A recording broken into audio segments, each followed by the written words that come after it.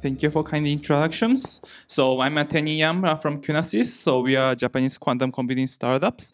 And this session will be the first part uh, will be from me, uh, talk about the quantum computing algorithms.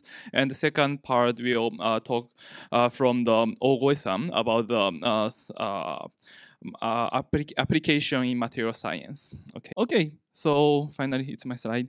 So I will get started. Um, so kind of uh, in first half of the talk, I will uh, quickly introduce our company and kind of talk about uh, what we're uh, developing uh, called uh, QSCI algorithms. Okay, so just quick introduction about our company. So we are a company founded in 2018 in Japan, Tokyo, and recently we founded our office in Copenhagen. And kind of what we are focusing on is like uh, quantum chemistry calculation using the quantum computer. And kind of we founded company with Osaka University professors, and kind of we are uh, currently with 45 members kind of what we are doing is not just doing the quantum computing algorithms research, but also start with the education for industry academia.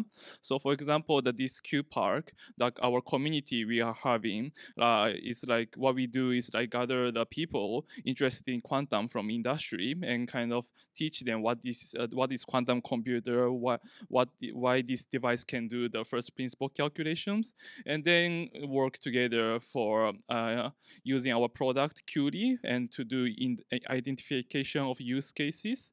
And after that, uh, we are doing a verification of uh, algorithms on actual quantum devices and kind of do algorithms development with end users. So kind of in that we use our uh, open source software uh, called QURI Parts. And also what we are studying uh, recently is like uh, data management for computational chemistry and also experimental chemistry. Yeah. So kind of, I will uh, go to the algorithms research of um, Qunasys. So kind of, I think uh, I can skip uh, most of this part. Uh, so kind of, uh, in the quantum chemistry, it's the uh, kind of basic to understand the chemical reactions. And for that, we have to understand the energy of the Hamiltonians. And for that, uh, why, why this device is, is good uh, using quantum uh, quantum computer is like there's a natural correspondence between electronic states and in molecules and quantum states in quantum computers. And however, uh, so there's an algorithm called variational quantum eigensolver. However, uh, there's a, it's say like there's large problems, like for example, large number of shots uh, needed for reducing sampling error. So if you see the um, the figure in the right right uh, top, so kind of you can see like the for uh, if you have like 40 qubits, it will, to get the chemical accuracy, you need like one day of the samplings.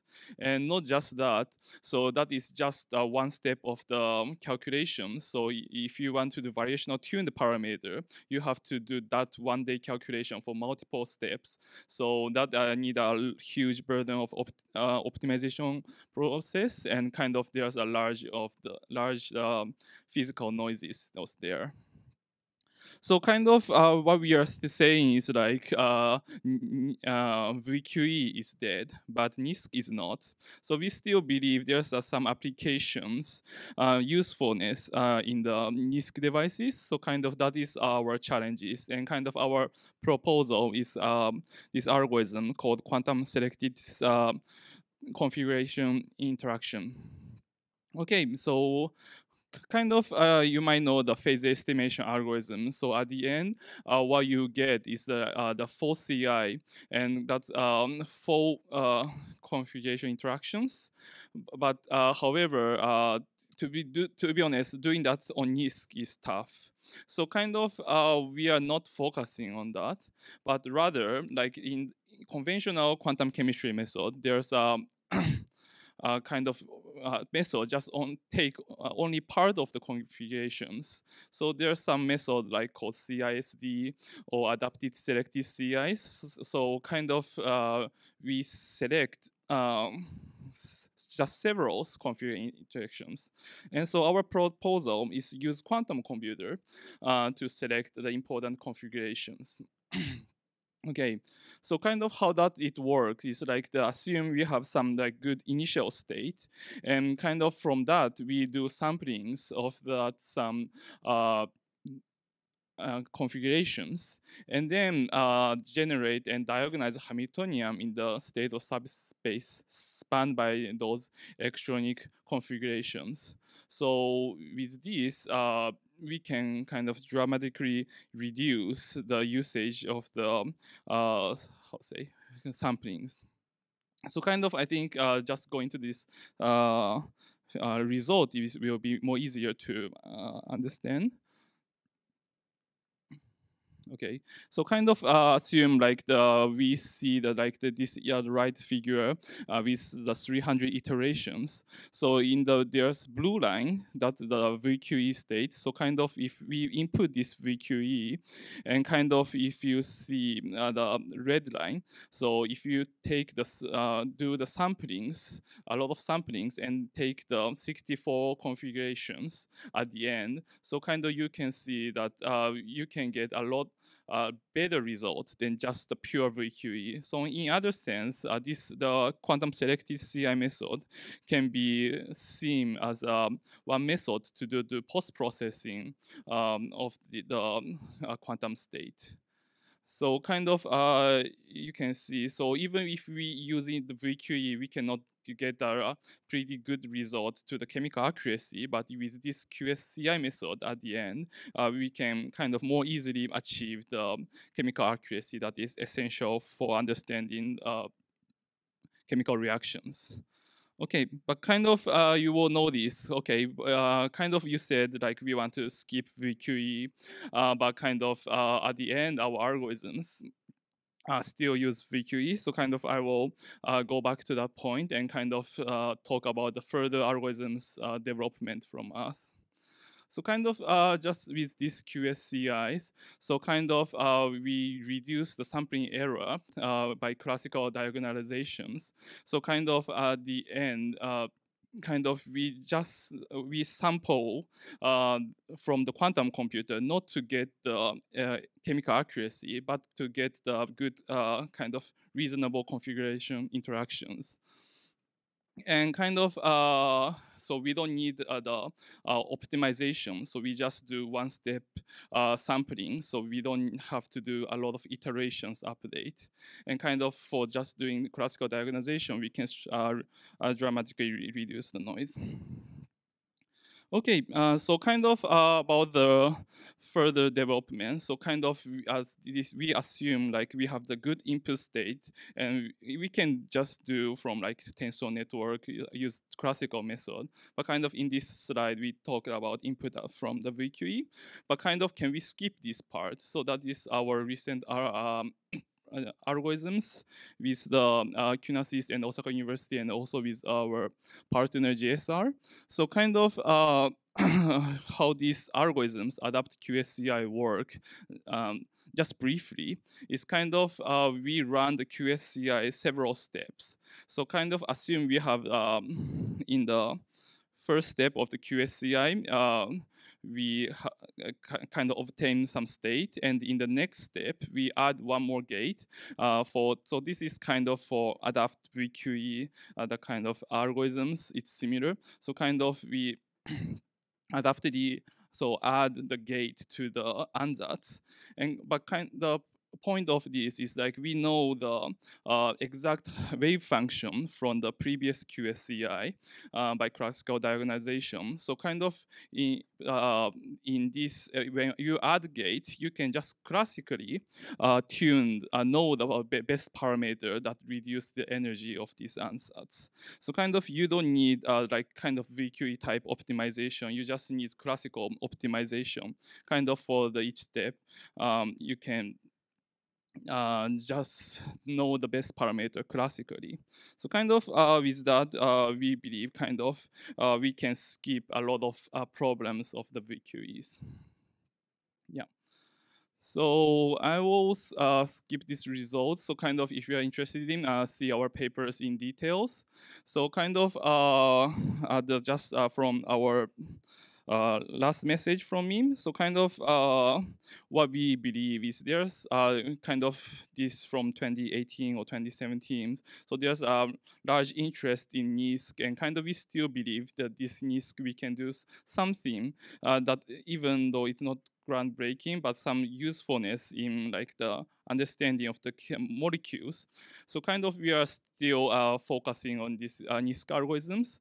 And for that, kind of I would like to like the encourage uh, more researchers to work on this. So kind of towards that, we uh, did uh, quantum algorithms grand challenges in 2023, and kind of in that we defined problems based on NISQ and focusing on um, energy calculation of the Hamiltonian, and kind of we build evaluation simulator, example code, etc., and kind of run three months contest, and kind of uh, we awarded winner in IEEE Quantum Week. So kind of this year we will con continue doing that. So kind of we will uh, plan to announce these next challenges in February. So kind of if you are working on these NISQ algorithms in the chemistry field, yeah, uh, uh, kind of I strongly encourage you to submit uh, your algorithms and kind of compete uh, with the world.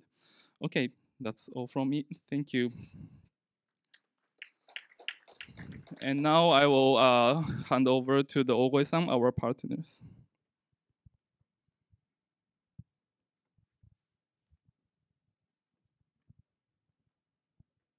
Uh, okay, so oh, it's not my slide. okay, uh, yeah, I'm I'm waiting for my slide.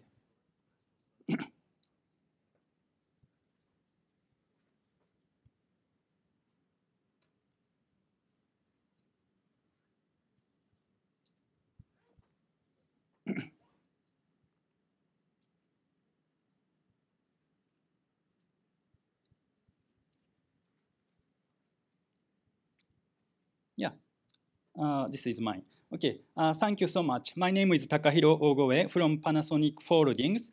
Uh, it's honor to be able to, to uh, talk to you today. Uh, in my presentation, I will mainly talk about our recent applications.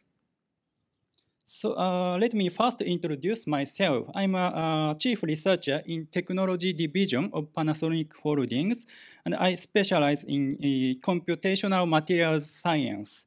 I have a research background in both academia and uh, industry.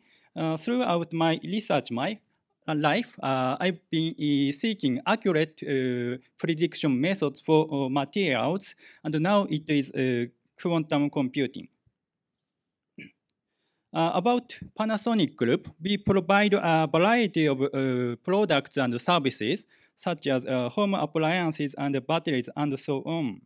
Uh, throughout our activities, we aim to uh, help you uh, live your best life, which is actually our brand slogan.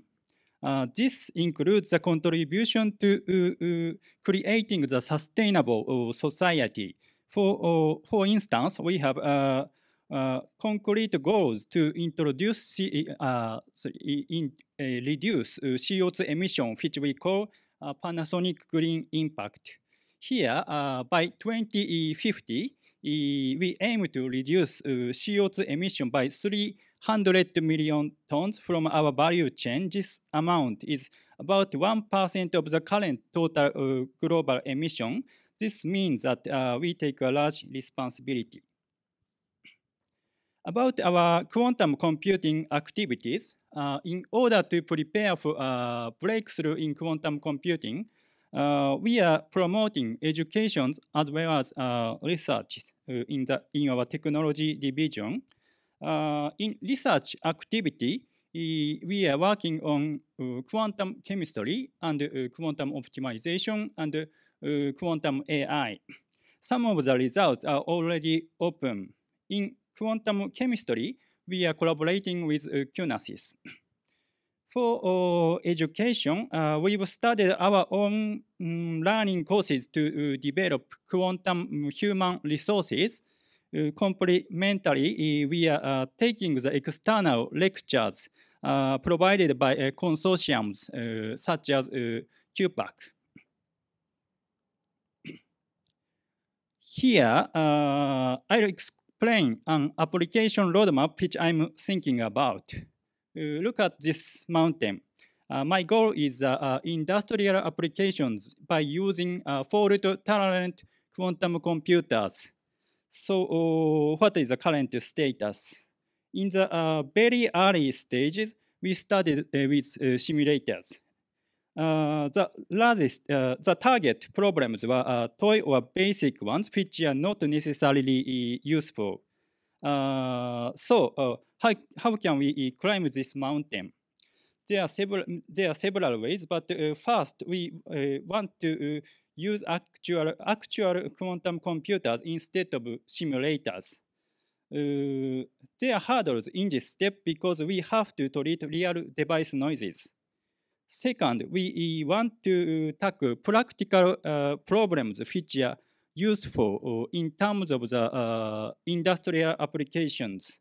Actually, we did it and uh, in our uh, recent work, and I'll show it uh, later. In any case, this is uh, our current status in the long, this long journey.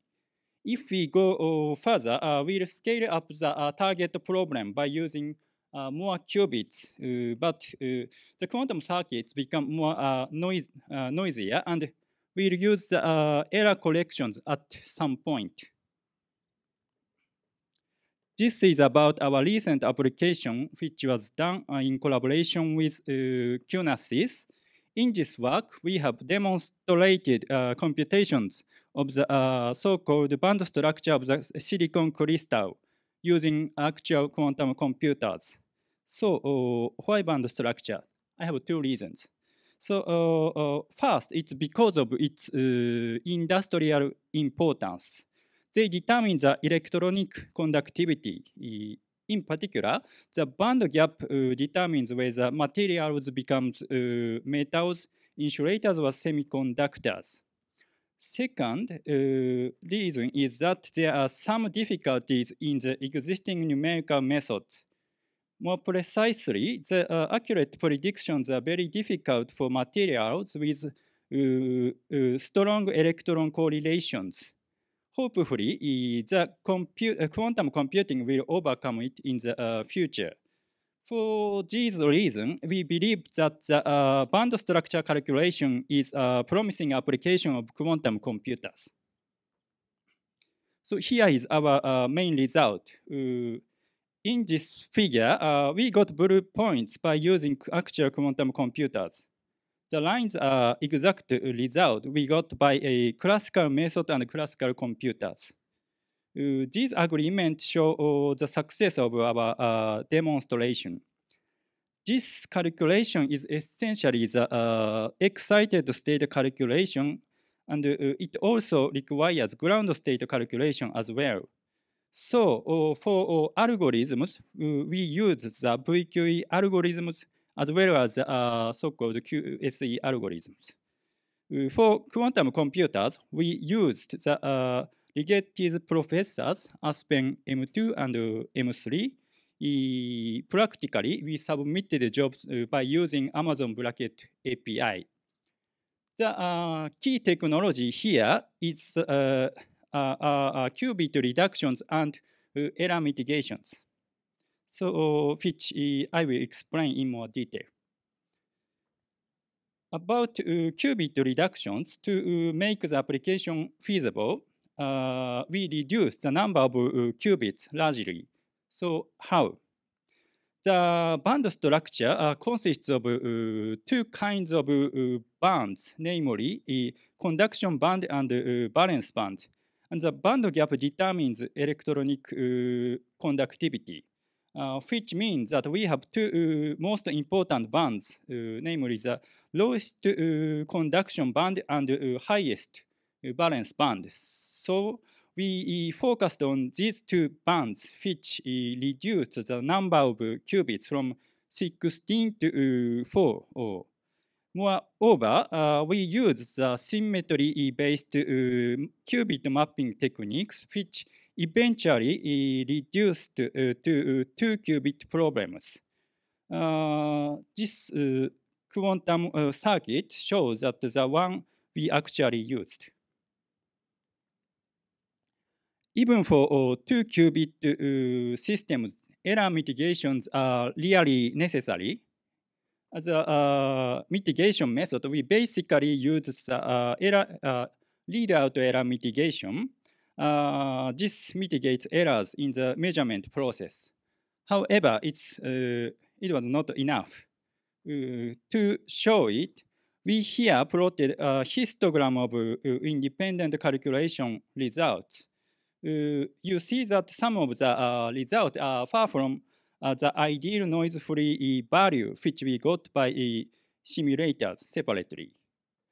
However, after uh, we found that uh, after taking the average of outcomes, we could well uh, reproduce the ideal values, meaning that we could cancel out the remaining errors. Okay to summarize, we have uh, demonstrated calculation computations of the uh, band structure of the silicon crystal using uh, actual quantum computers. As a prospect, scaling up the problem with the problem size will be one of the next steps. Uh, however, uh, eliminating errors are very difficult even for two qubit systems, so we might need more advanced algorithms uh, such as uh, QSCI in the next step. Thank you for your attention.